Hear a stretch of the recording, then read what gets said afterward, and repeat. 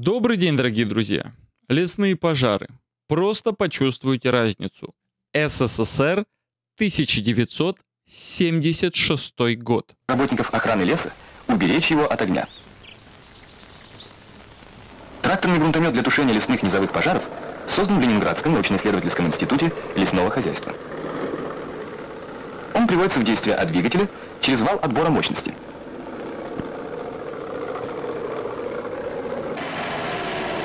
При дальности метания в 30 метров ширина защитной полосы достигает 20 метров.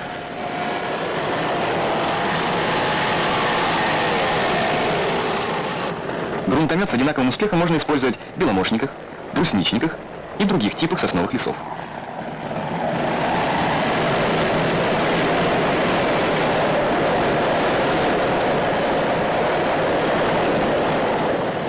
При изменении дальности метания грунта создается защитная минерализованная полоса шириной до 6 метров, которая надежно преградит путь огню. В лесу обнаружен пожар. Теперь уже не человек с лопатой, а могучая неутомимая машина будет вести борьбу с огнем. 76 год. Сколько времени было у властей, чтобы взять это все на, на вооружение, чтобы изобретение стало массовым, чтобы каждый регион обладал соответствующим парком техники. И вот путинская Россия. Как говорится, почувствуйте разницу. Вот группу спасателей привезли в место борьбы с огнем.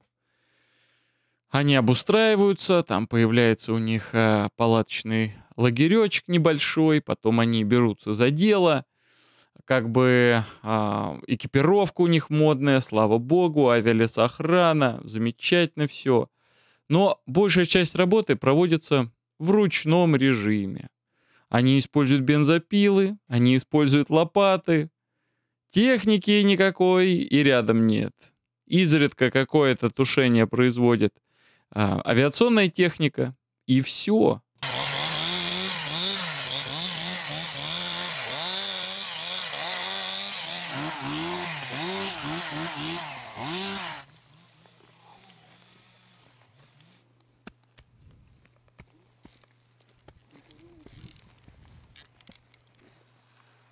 Восемь километров кромки.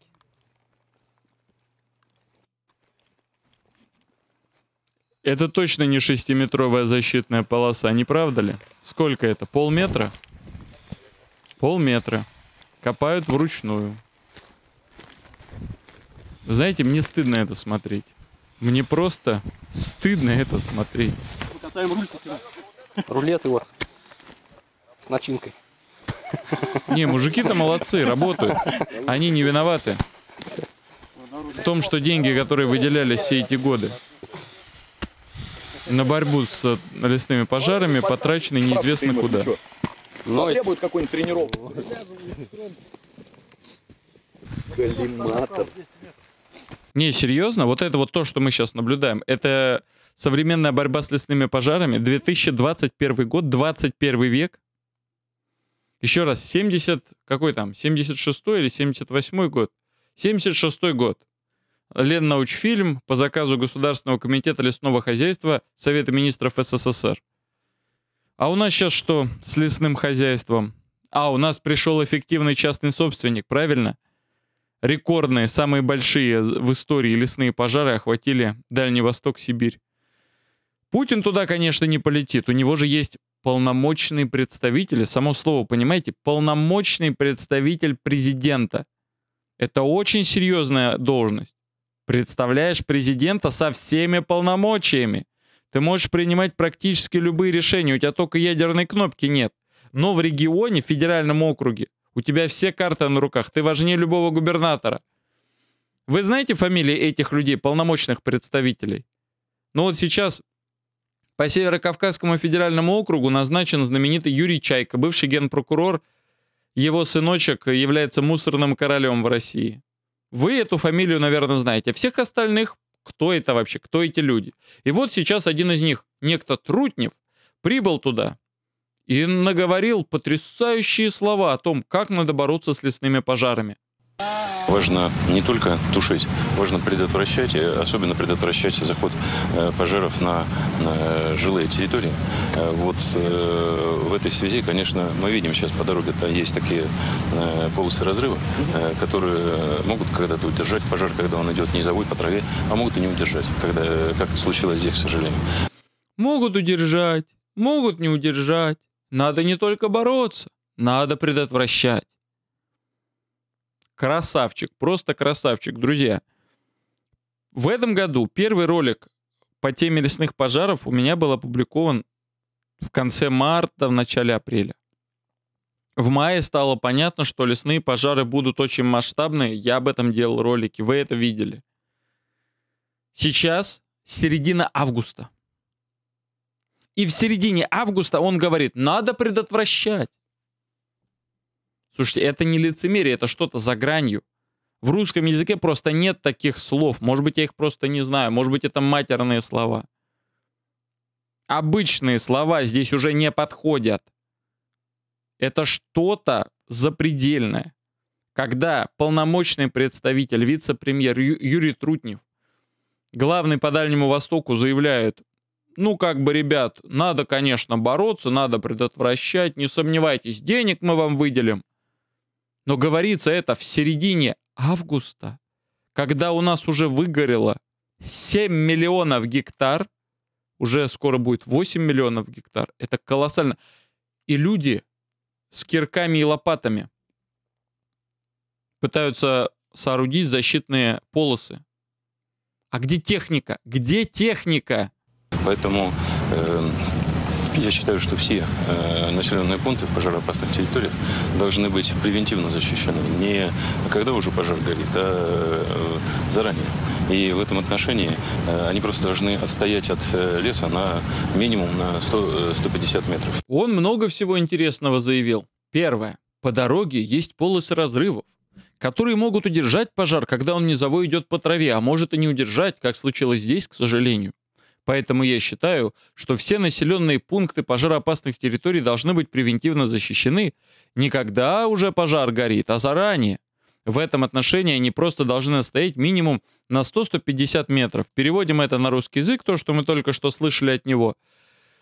Лес вплотную к населенным пунктам должен быть вырублен. Населенные пункты должны быть защищены 100-метровой пустотой, тогда пожар к ним вплотную не подберется. Что это означает? Это означает, что государство ожидает в ближайшие годы повторения таких же масштабных лесных пожаров. То есть если населенные пункты окружены лесом, это не значит, что они сгорят. Если малейший очаг возгорания будет сразу же тушиться авиационной техникой, которая есть, то никакой угрозы не будет возникать, никаких защитных полос делать не надо. То, что мы видим сейчас на Дальнем Востоке, это называется, дорогие друзья, разгильдяйство отсутствие профилактики. Если бы малейшие возгорания сразу эффективно, быстро, оперативно тушились, этой ситуации бы просто не было. Нужно просто убрать лес, раздать его по нуждам муниципалитетов, жителей. Может быть, будут построены дома, какие-то общественные пространства. Нужно создать механизм, который позволяет спокойно передать людям на дрова, на строительство, на что угодно. Очистить эти площадки мы готовы в рамках программы по развитию Дальнего Востока. Ты вице-премьер. Ты полпред президента. У тебя все карты на руках. Так пос- подпиши прямо сейчас постановление, что на расстоянии 100 метров от каждого населенного пункта местные жители имеют право рубить себе на дрова все, что угодно. 100 метров от населенных пунктов очерчиваем, пожалуйста, валите лес сколько угодно, бесплатно.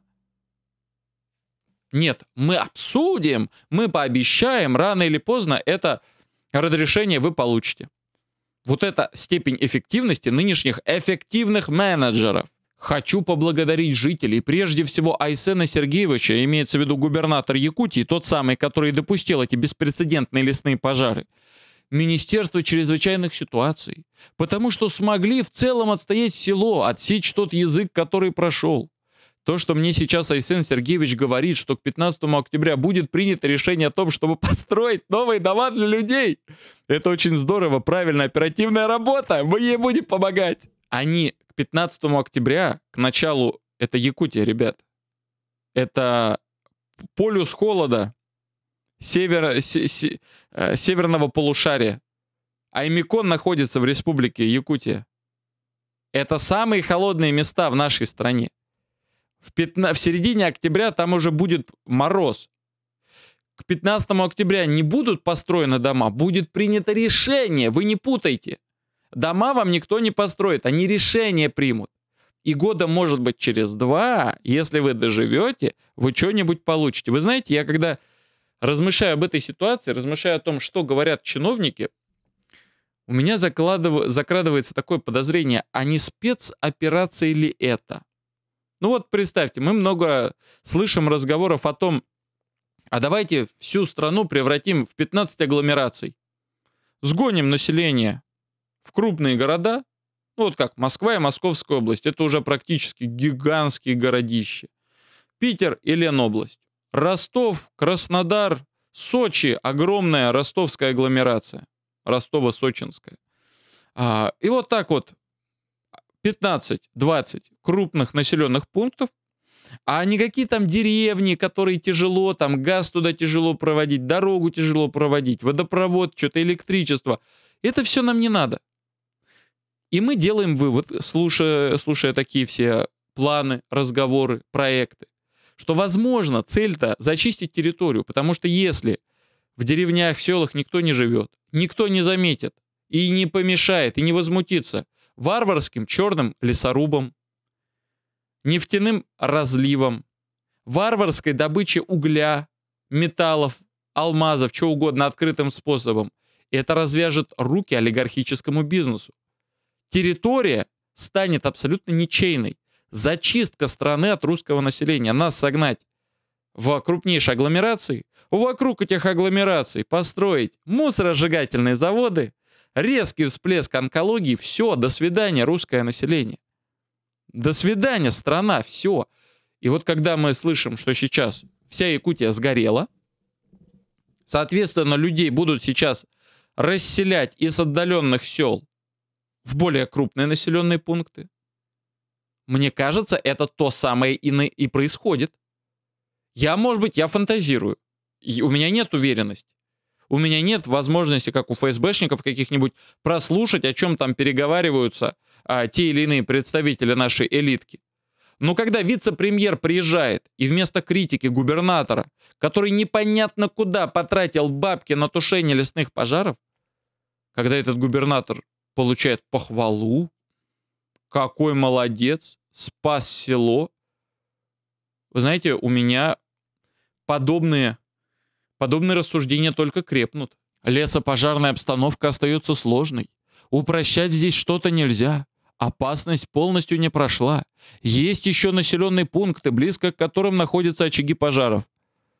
Ну, вообще-то, да, лесные пожары не только остаются большой проблемой, они усиливаются.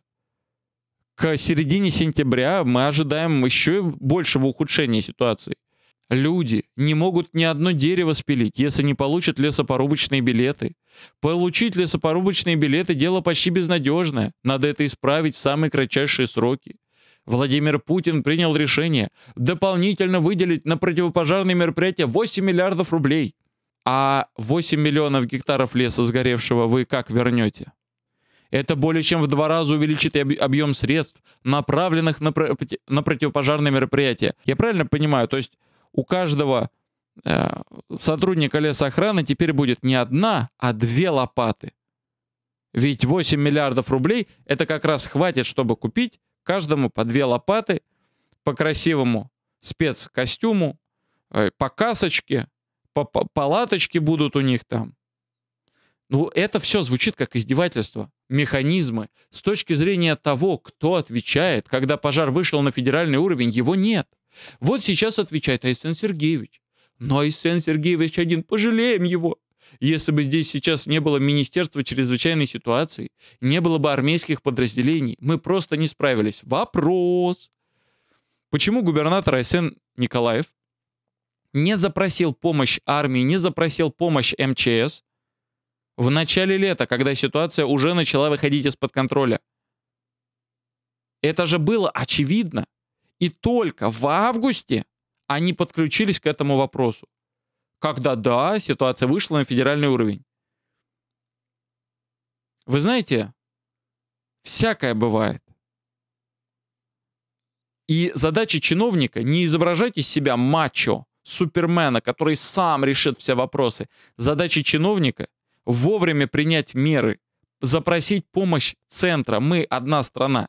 МЧС и вооруженные силы у нас федеральные. Если ситуация выходит из-под контроля, нужно было сразу трезвонить во все колокола. Почему это не было сделано?